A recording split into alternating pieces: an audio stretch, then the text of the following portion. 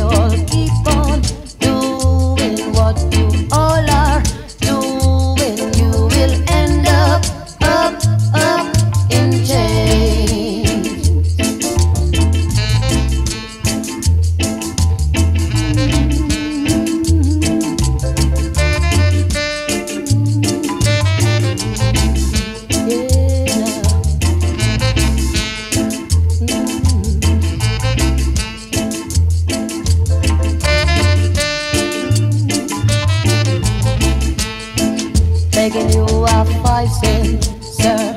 Begging you a ten cent.